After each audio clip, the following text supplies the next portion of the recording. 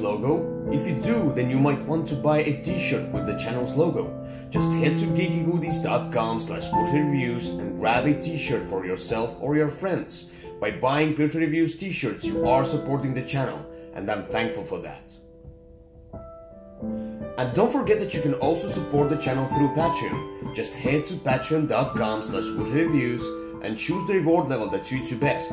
Your support means a lot. With enough support, this channel will continue providing you with the content and you will be able to contribute to that as well. Thank you to everyone who watches and supports the channel. Hello there folks, today we're taking a look at the game called Imaginarium. It's published by Bombyx and the designers are Bruno Cathala and Florian Sirieix. Now I want to mention that this game is published in Europe. There will be a Kickstarter on 16th of May, the same day as this review goes up. So I will definitely put the link up for the Kickstarter. Go check it out. And also this will be for the US distribution of the game. So you will definitely get this game if you want to. Now what's this game about? This is about a steampunk world and engineers and this weird machineries and such. And you are building your machines and trying to be the best engineer out there. So let's take a look at how the game works.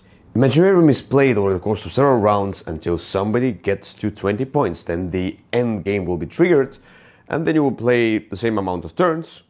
At, at the end, whoever has the most points will be the winner of the game.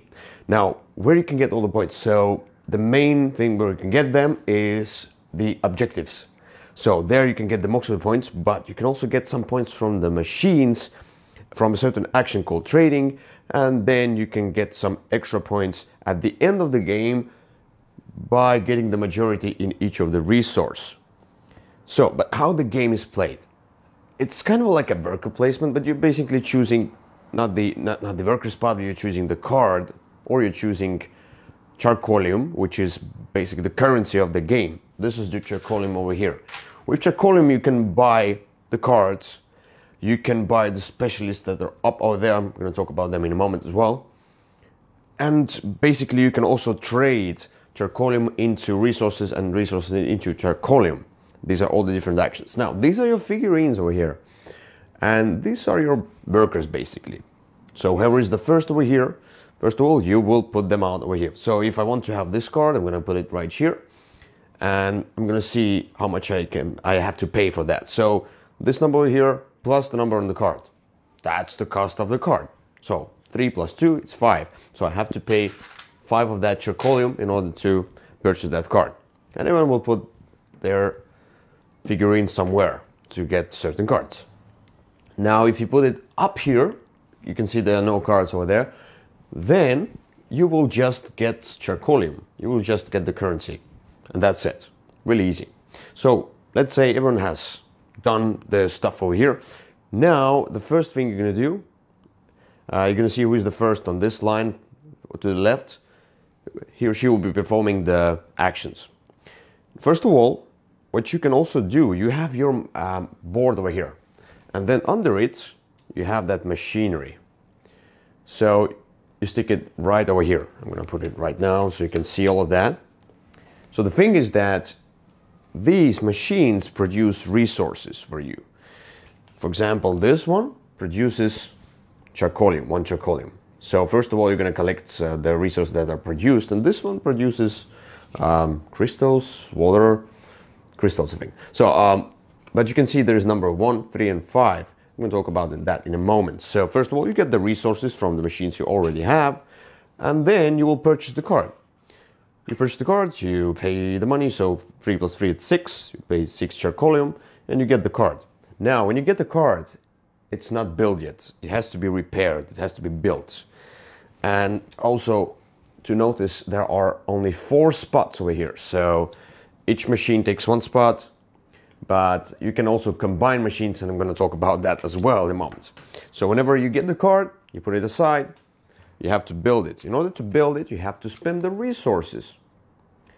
And these are the resources written over here. So you spend them, you will build it. But you can build it as one of the actions.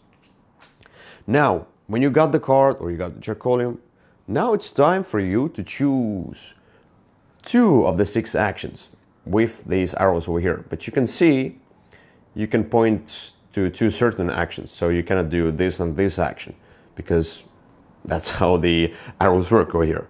So what are the different actions we here? So first of all, this is a really easy action. With this, you can trade back and forth. You can trade charcoalium into different resources and so on. And you can also buy victory points. And you can do that up to three times. So over here, and this is the important action, you can repair machines that you have on the side over here. So with this action, you can repair one machine. You pay the resources, you put it in one of the slots over here. With this one, you just get charcoalium. With this one, you can buy a specialist. We're gonna look at the specialist later. With this one, you can basically uh, dismantle the machine. And how, how it's going. So, if you have the machine over here, which is built, when you dismantle this machine, when you destroy this machine, you get the resources back, but you get twice the resources back when it's built. It's really cool. Or you can also take just two victory points. When, this, when the machine is not built, so it's on your side, you haven't repaired it yet, then you can only get those resources once and not the victory points. So you cannot choose the victory points instead. So that's how you do that. And the last action is the combination. So combining all the cards. Now, how does it work? So as you can see, some of those cards over here have those sides over here. So the P4, T1, T2. That means that this card is combinable with P4, T1, T2, and that's where those things over here come into play. The thing is that, let's say I have those three machines built in my slots over here, and I choose maybe those two actions. I'm gonna destroy something, I'm gonna combine. What I can do, I can combine this card, which is also P4, with this card. So they are combinable with each other. Now that means that if I have only one of those um, basically one card, then I get one resource each turn produced. If I combine both of them, I will get three resources. If I get the third copy, I will get five resources. If they are separately, they will each give me one resource, but I have to combine them in order to get their productivity higher. So that's really cool. But you can also combine them with those purple cards, which are basically the conversion cards.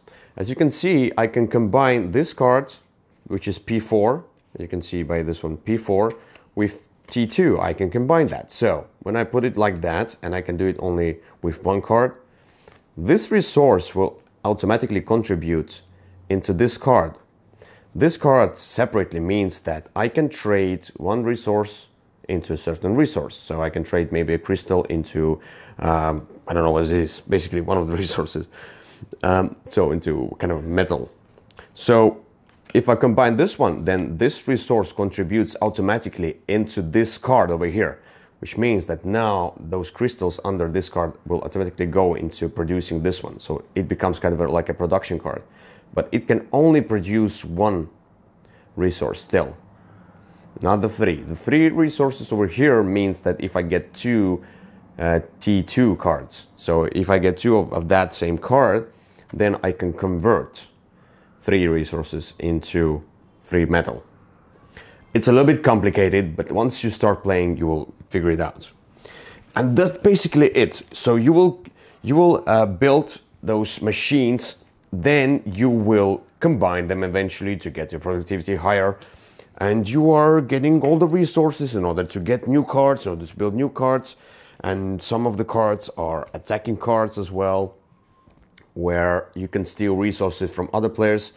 Uh, the bad part about that one, they're, they're not combinable with, uh, with the others, and it's also hard to get rid of some of them. So, for example, these golden cards, they give you some special ability, or they give you, for example, here, they give you victory points. And you combine two of those same cards, you get three victory points each turn, which is a lot. I mean, you need to get to 20 at least, but three points is a lot each turn. So, but you can see the symbol over here. You cannot destroy this card. So if you build this card into your machinery or into onto your board over here, to your workshop, then it takes one of the spots over here, and you will have only three other spots left. You cannot dismantle it. But usually, if you build this one card, you can you can later on, if you don't want this card anymore, you can dismantle it and then take it away.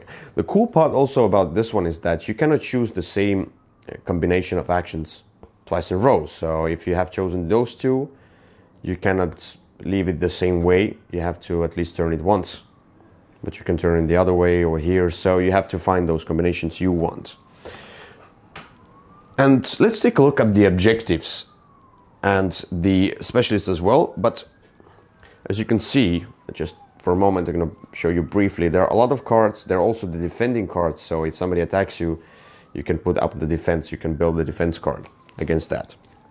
Anyway, let's take a look at the objectives first. So as you can see, those objectives over here, they're really simple. For example, this one says that you need to get three of the same resources production. So, uh, produced.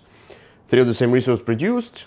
Then you take one of the tokens, of your tokens, of your color and put them down here, you get three points. Everyone else who gets to this objective can also put their token over there, but they will get one point less, so they will get two points instead. Here you need to get the machinery of level two, three. If you have three machines of level two in your workshop, it's great. If you have six machines in your workshop, and that's you can only do, you have four slots, so you can only do that if you combine machines if you produce six resources and two of them are different, or if you have two purple cards, you have those two cards in your uh, workshop. You have three specialists. So it's extremely easy. You get three, four, five points. Um, not two, I think there's no uh, two points, so five is the most and three is the least. And let's take a look at the specialist as well.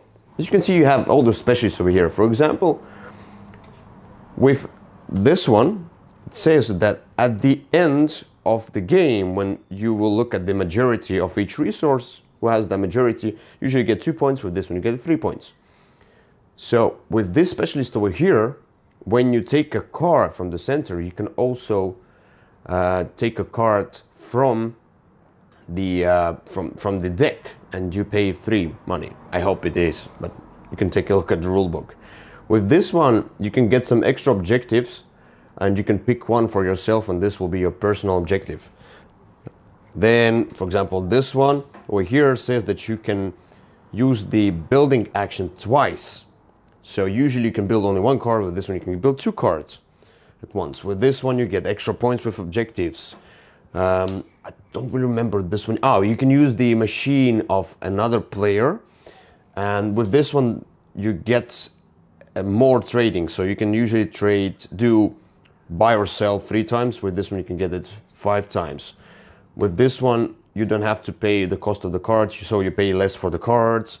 With this one, you can do either the two uh, repair or you can uh, dismantle two. So usually you do each action once. You get two extra spots or slots in in your workshop, for example. On this one, you uh, when you trade resources, usually you have to pay five charcoalium in order to get one victory point. With this one, you, you get it with three charcoalium, one victory point. So it's really great. And you also have only three spots in your workshop for the specialists over there. And when you get the specialist, you cannot get rid of that specialist. So when you have all the three specialists taken, that's it. And the cost of the specialist over here, you also pay it in charcoalium. So, and that's how you play Imaginarium. So, Imaginarium. Aha. First of all, components artwork, as I always do that first. Now, the components are great, and the art is it's weird. Now, let's take a look at the components first. So, the components, um, the the one problem I had uh, that the workshops bended a little bit, so I put them uh, under the heavy weights overnight, and they're a little bit better. The cool part about that is there are those small dots, uh, small additions uh, like like that's which you put under the workshop, and this is because then then the workshops will not slide around the table when you when you use the arrows for the actions, which is really cool addition. I like that, but as the workshops bended, there was no use for them. So that's small thing about that one. The card quality is fine, um, a little bit glossy, and it can I don't know. Um, maybe you should sleeve the cards. Uh, it, they're, they're not the best quality over there. So I would prefer linen finish instead of the other one. But still, the production of all the, the resources really cool. The wo- wooden resources look like wooden resource. The crystals look like crystals and so on. Zirconium is really cool resource as well. And then we have the, the, the box for the resources. Uh, you put it at the center of the table. It's really easy to take. So they thought through the production process and basically the unboxing process of this game and putting this out and getting the setup as easy as possible. And uh, yeah, overly, I like the production and the minis are really cool. And I saw them painted as well uh, in Twitter, and I really like how they are painted because because the art is so weird and so cool and, and different. So if we take a look at the art now, the the art is yeah, it is weird. So when I did the unboxing video for this game, I laughed a lot because I was like, it's it's weird the combinations of animals and machinery and kind of a picturesque and the kind of real world versus fantasy and steampunk kind of combines into this big big weirdness. Once once more, I'm going to use that word, but it's cool. It's different. I like that. We should do something different, and that's great. And the teeth uh, on the on the on the board itself, it's the crusher where you put the discarded cards, and it's a little bit gross, but it's cool. But if you take a look at the gameplay, now once you go into that game, once you start this puzzling nature, once you feel this puzzle nature of the game, you will not take we will not look at the artwork that much anyway. So you will not really see oh this is this picture, this is this picture. You will look at the symbols because this is a puzzle game. Now this is also an engine building game, but the engine you're building is constantly changing or you have to change in order to be successful in this game. If you will concentrate too much on just keeping all the cards, you will be stuck because at some point you need to change your strategy. For example, somebody already played that objective and you will get less points for that objective. So why why go with that objective? Maybe go with the other one where you can get more points, but then you need to change your strategy and you always need to think of what should I dismantle? What should I destroy? And maybe I should get this card at the center of the table only in order to destroy it so I can get the resource in order to build the other card. So you can you can have as many um, unrepaired cards as you want. But there are only four slots for the repaired cards, for the build cards. And you always have to check um, whether you really, really need this card in front of you right now. I know it gives you that crystal resources, which is cool, but maybe right now you need more of the metal or wood resources or need a lot of zirconium, otherwise you get stuck with getting only cheap cards uh, but you can you want to get the other card so you always constantly need to think about when is the right timing of building when is the right timing uh, to to fill up the slots when is the right timing of combining because when you can you can combine machines as you want like basically if they are compatible. But once you combine the machines you cannot destroy them. In order to uh, uh destroy those machines and get rid of that uh, of those cards and get to free that slot uh, you need to uncombine them. So in order to do that, you need to choose the combining, uncombining action.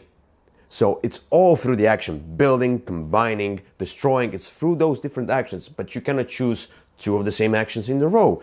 So that creates an extra layer of thinking over there because you take a look like it, it's it's it's a lot of tight resource management. So when should I? It's all about timing, timing, timing. So it's an engine building all about timing. When should I dismantle? When should I build? When should I fill up? When should I take the specialist? Maybe the specialists, by the way, are great. Uh, when you take the specialist, they are game changers. They are the rule breakers. They make you asymmetric, uh, from the other players. They make you different from the other players. And that's where asymmetry comes into play as well, which is really cool. At first, you are kind of the same, but you have so your starting resources are a little bit different and your machines are a little bit different at the start of the game. So it kind of creates a, kind of a starting point for your strategy. But eventually you can just destroy all the machines from that and build up your own thing over there. But the specialists are amazing. They are, they are uh, game breaking. Like, for example, in Yamatai, which is also Bruno Cathala's game, uh, where you have those. You, at first, you are all kind of the same and you're building up, but as you get the specialist, you become unique, you become special, and you feel special. And I just love those specialists. And usually, I'm not into puzzle type games, but this game over here, I just amazed how how easy it is. So when I read the rules, it was a little bit confusing with all that machinery and where to, where to, how to, how to get the resources, and how to kind of a proceed in the game, how to build an engine. But it's not about building engine; it's about um, sustaining engine for a shorter period of time and then destroying it and getting new engine and new engine and new engine all the time. And eventually, I got into this game, and the rules aren't. Um, it's it's not a hard game it's on a little bit simpler side, but I mean like it's it's midweight. It's it's for me it's like a perfect midweight Euro, like Yamatai, like Five Tribes. And I, I love that. Though I'm not into puzzle games, this one makes me think because it gives me that emotion of building the engine which I love in games. So it has all those different and I love getting the specialists which make, makes me unique. So that's cool and you get the objectives and so on. It's a race to 20 points. But one thing more is that Getting to 20 points doesn't mean you win the game, because somebody has hasn't built much and he has collected all the resources. And you get two points for each majority of the resource at the end of the game. And if you get majority in each resource, you get eight, extra points, which is a lot in this game. Usually we ended up like 25, 26 points, so eight is a lot. Um, but you can also get the specialist, which gives you three points for each majority in the game, so you can get even more. And you can get extra points from other things over there, so you can trade and such. So you have to get the help of the specialists as well.